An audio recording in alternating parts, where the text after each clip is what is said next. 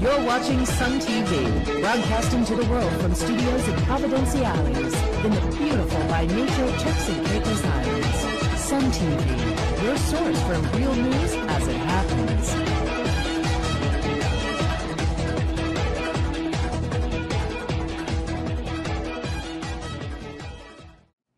I'm Iberlia Brew, and I'm happy you could join us for the Sun TV News Brief. The Turks and Caicos Islands could save millions of dollars every year, and 75 well-paying jobs could be created if plans are approved to develop a fish farm in Providenciales. That's the view of Mr. Richard Burke, CEO of Caicos Catch, the company that is behind the fish farm project. In an exclusive interview with Sun TV, Burke noted that millions of dollars are spent importing fish to meet the demands of hotels, restaurants, grocery stores, and other consumers in the Turks and Caicos Islands each year. He believes that Fish Farm can produce around 950 metric tons of fish and will be able to adequately supply the local market and also provide fish for export. We expect that uh, this project will create 75 new jobs in uh, offshore fish farming. We expect that uh, we can probably contribute somewhere around $100,000 annually to a combined uh, NHIP and NIB. We expect that um, we can harvest in the neighborhood of about 950 metric tons of warm water finfish, with two thirds of that being exported to uh, the United States and uh, a third of that staying here in the Turks and Caicos Islands and lowering the cost of fish locally here to about $12 a pound. In the United States, Canada, and uh, the UK, the average fish consumption is about one third of a pound of fish per person per week. If we accept that we have about 35,000 people in the Turks and Caicos Islands and 5,000 of those people may or may not be subsistence fishermen and may or may not be able to afford to shop locally, we might conclude we have 30,000 people here that consuming a third of a pound of fish per week would be 10,000 pounds a week or 520,000 pounds of fish annually. Uh, if you add to that the 250 or 275,000 visitors to Providenciales that have a one week stay here and add another 80,000 pounds, you now have about 600,000 pounds of uh, warm water finfish that should be consumed here on an annual basis but isn't because either it's not available or the price is uh, prohibitive. We can assume that, that there's a couple of million dollars easy sent to Miami annually to supply our local resorts and grocery stores.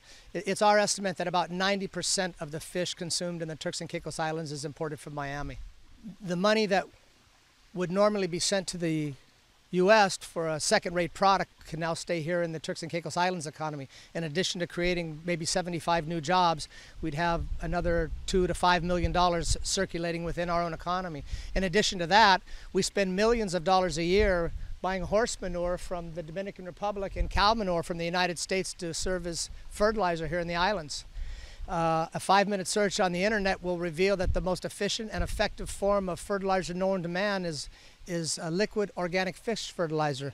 So on a project that we're developing here, we'll be able to take the fish offal, the excess skin, bones, and, and internal organs, and develop that into, uh, again, another exportable product that can be exported to the United States or remain here. And that that remains here will keep more dollars in circulations in the Turks and Caicos Islands economy. At a time when locals are crying out of jobs, Burke said the fish farm would provide alternative employment to the traditional hotel and tourism sector.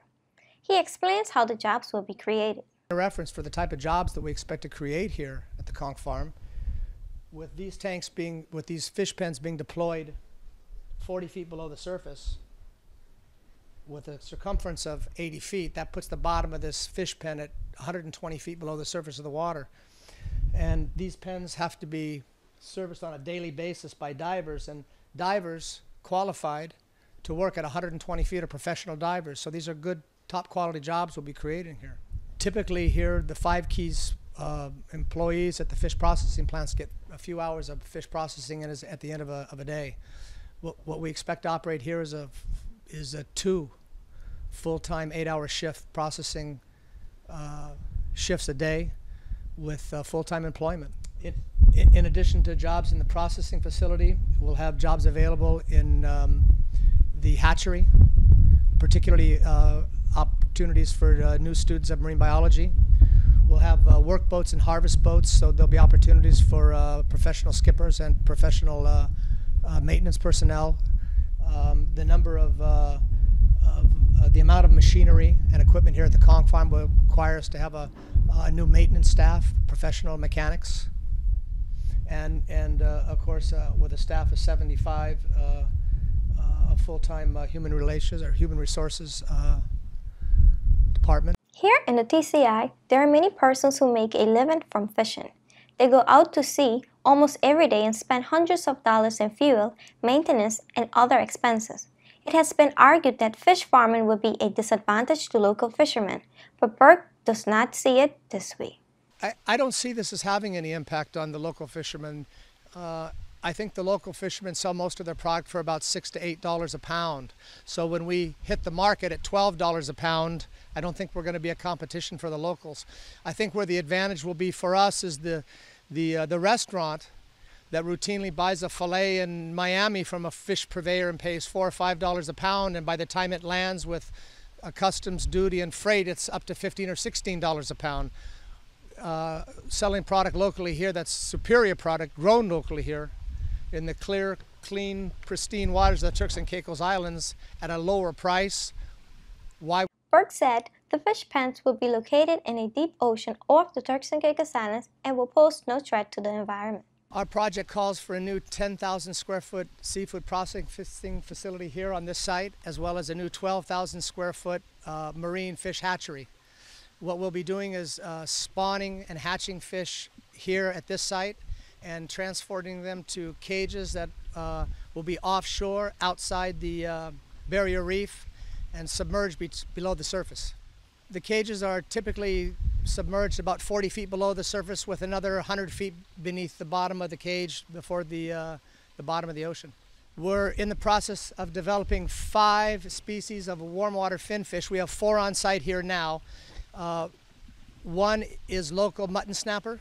The second is local Nassau grouper. We also have uh, cobia and uh, pompano. These are offshore submergible fish pens. They're about 80 feet in diameter, and they would normally be submerged about 40 feet below the surface of the water, outside the barrier reef, where the water is a couple of hundred feet deep and the currents move away from the island. We're looking at deploying in our project eight of these submersible pens, which would give us a capacity of harvesting approximately 950 metric tons of warm water finfish annually. Uh, the pens are um, a compilation of um, triangles in the shape of a geodesic dome. The rigid side of the triangle is made of a fiberglass plastic composite, and the inner space is made of a screen mesh, which uh, acts as a predator barrier and prevents the escape of the small fish from the cage. The, the pens are deployed about 40 feet below the surface, and the surface is marked with a small float. On a daily basis, a feed boat pulls up to this float, pulls the float up, pulls up a, a line. At the bottom of the line, there's a hose. The hose is attached to a machine on the boat that blows the feed 40 feet down into the cage.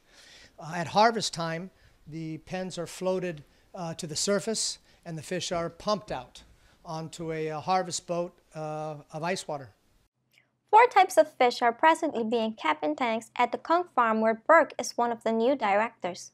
The businessman explains that the Conch Farm is not making any money and this is one of the reasons why they want to get involved in fish farming. In fact, he told Sun TV that the Conch Farm has not done any exports since 2008 and it will be another four years before they can start exporting again.